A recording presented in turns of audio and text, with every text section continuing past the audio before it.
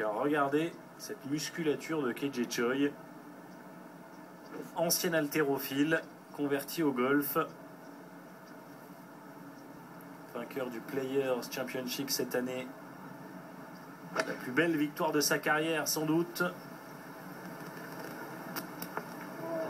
Et il a été chercher ce drapeau, c'est parfait. Parfait.